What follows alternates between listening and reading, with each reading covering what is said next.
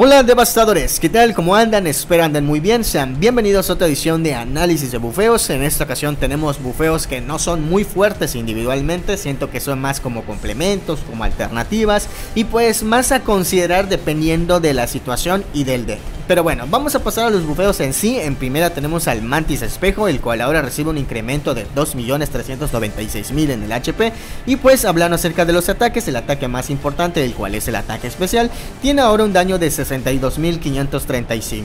Siendo sinceros, eh, esta unidad estaba bufeada de manera muy repentina. Siento que como estaba rendía bien, la unidad no sirve para generar daño masivo. Hace un pequeño desgaste, pero tampoco es como que sea la gran cosa. La función de esta unidad era simplemente meter presión y pues estar constantemente molestando a las unidades de soporte del rival. La unidad ahora pues va a resistir un poquito más con ese HP y pues el daño pues puede ser un poquito más acumulativo pero tampoco es como que sea la gran cosa. De igual forma si lo quieren bufear y quieren que rinde un poquito más pues adelante. Siento que eso le va a permitir poder estar constantemente presionando y picándoles las costillas a las unidades rivales y pues para también dañar la base está bien. Entonces ahí si lo quieren considerar adelante. Y bueno, ya pasando a otra unidad, tenemos a Bonnie Verano Eterno, el cual ahora recibe un bufeo en el HP de 2.284.000, el cual no es mucho, pero pues bueno, esta unidad tiene evasión y pues eso le va a permitir poder estar aguantando un poco más de tiempo en el campo de batalla. Y hablan acerca de los ataques, el ataque importante o el ataque que más nos interesa es el ataque especial, que tiene un daño de 279.000, que siento que está bien, le va a permitir poder estar generando un desgaste a las unidades de cuerpo a cuerpo, pero pues tampoco es como que sea la gran cosa. La unidad en sí siento que se podría ocupar para rushear, o sea, el rango de daño que tiene puede meter presión, tiene un costo de AP también muy barato. Siento que para rushear y para estar constantemente ahí chingando a otras unidades está bien, pero para otra cosa, para batalla avanzada, siento que no rinde tanto. O sea, ya es más para rusheo y pues para meterlo en su armada o tal vez para alguna estrategia, pero para batalla avanzada no lo recomiendo para nada. Y bueno, pasando a otra unidad tenemos a Shafira Verano Eterno, el, cual ahora tiene un bufeo de 5.971.000, casi 6 millones en, en el HP. Y pues hablando acerca de los ataques, el ataque que más nos importa es el ataque especial, el cual ahora tiene un daño de 51.818. Y pues hay que recordar que esta unidad pues golpea por impacto, o sea, activa el ataque especial, se mantiene ahí en el campo de batalla y pues si las unidades se ven expuestas a ese, ese daño, pues van a ir perdiendo HP de manera acumulativa. Realmente el daño que tiene no es mucho y pues pues la unidad en sí con ese HP, no sé, siento que no va a aguantar tanto. Me hubiese gustado que, que SNK se hubiese ido por un lado, o sea, si le va a poner mucho, pero mucho HP para que esté constantemente chingando, o que le hubiese puesto mucho daño para que pues mm, ese HP que no aguante tanto, pero que sí logre hacer un daño masivo, desgastante. La unidad en sí va a tratar de aguantar lo más que pueda con sus habilidades, el cual pues es el antiaturdimiento y también que recupera HP, pero pues bueno, para estándares de hoy en día, pues no le van a servir para aguantar el daño masivo que tenemos hoy en día en el meta. Así que pues queda como siempre a consideración y pues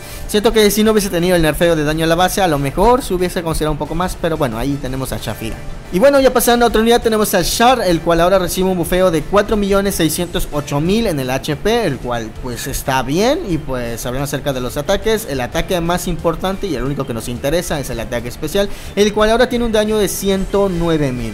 Eh, bueno, la unidad en sí golpea por impacto, o sea, esos 109 mil se pueden sumar. Siento que la unidad, pues, no sé, lo hubiesen dado un poquito más. Hay que recordar que está nerfeada. Antes servía mucho como un escudo momentáneo, el cual pues ayudaba bastante a poder estar reteniendo a las unidades rivales. Y pues ahora, como ya no tiene eso, pues se centra mucho en el daño y pues estar constantemente golpeando. Siento que es una unidad que se combina muy bien con Rumi, eso hay que mencionarlo. O sea, puedes estar constantemente tirándole el, el ataque especial al rival. Pero pues pues bueno, el HP no es tanto, o sea, hay unidades que se la pueden comer de manera muy rápida, o sea, hablando del cangrejito, del cyclone, del Digu, pues bueno, pueden estar constantemente metiéndole daño. Pero pues si la combinas con Rumi, ahí sí puede cambiar un poquito el asunto y puedes estar spameándola de manera constante y pues estar generando daño desgastante a las unidades de cuerpo a cuerpo. De igual forma, la unidad, siento que rinde más o menos como una alternativa, está bien. Pero pues ahí para tenerlo como una unidad muy pero muy a considerar, pues ahí se los dejo a ustedes. O sea, eso ya dependería mucho del usuario. Y yo siento que la voy a bufear para ver si puede hacer algo mi, mi gótica culona.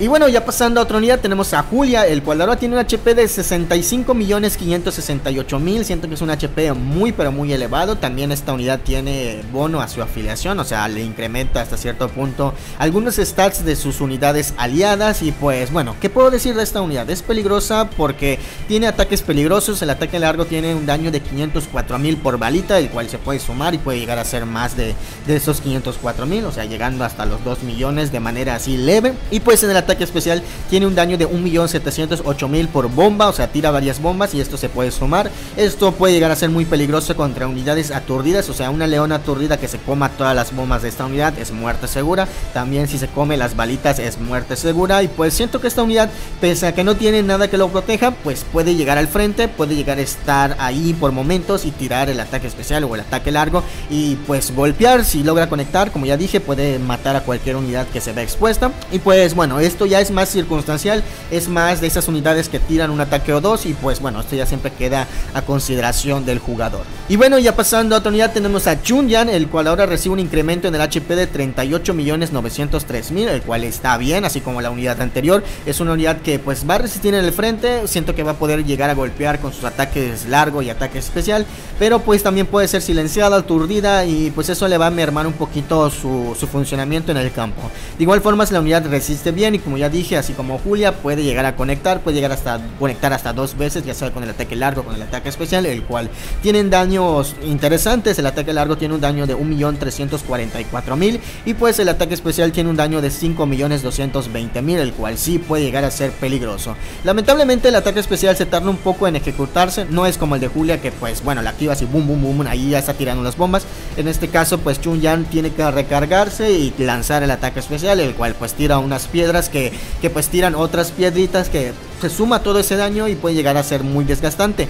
Pero bueno, como ya dije, pues esa recarga pues es tiempo que estás perdiendo, pero también hasta cierto punto se compensa porque también tira esas piedras que pues no son piedras muy débiles, que digamos, o sea, esas piedras resisten de manera considerable, o sea, pueden retener hasta cierto punto a las unidades rivales y pues como que se hace un pequeño balance. La unidad en sí no está nada mal, siento que se puede considerar como alternativa, así como unidad que tira unos cuantos golpes y se muere, pero bueno, siempre queda a consideración del jugador, no sé ustedes qué opinan, la bufiarían, yo siento que valdría la pena porque ese daño es muy pero muy elevado. Y bueno, devastadores, ya con eso sería todo. ¿Cómo han visto estos bufeos? ¿Los consideran buenos? ¿Los consideran malos? Pues pueden comentarlo. Ya saben que aquí su opinión es muy, pero muy importante. Y pues bueno, ya saben, como siempre, si este video les gustó, agradecería un montón que dejaran su like. Ya saben que el like ayuda bastante al canal. Y pues también si son nuevos por aquí y quieren ver más contenido, pues los invito a suscribirse. Ya saben que aquí todos son bienvenidos. Y bueno, me despido. Yo soy Star y solamente me queda decirles que nos vemos hasta la próxima. Bye bye.